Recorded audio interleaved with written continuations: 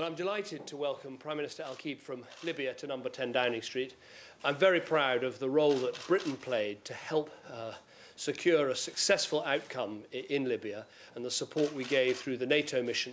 Uh, and I'm very much looking forward to hearing about the progress towards uh, full democracy in Libya and your elections that you hope to hold uh, before Ramadan this, this year.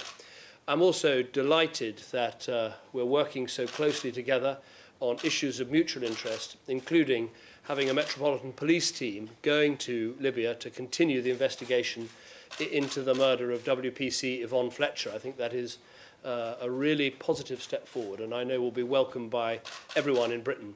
There are huge challenges for your country, challenges that we want to help you with. We, we really believe uh, in the Arab Spring and in what you achieved in Libya, and we will be backing you uh, every step of the way. Big challenges like trying to integrate the revolutionary groups into uh, the police and other armed services, uh, but we stand with you in your battle to deliver the freedom, the democracy and the rights that people in Libya have waited for for so long. And you're very welcome here today, Prime Minister. Thank you very much.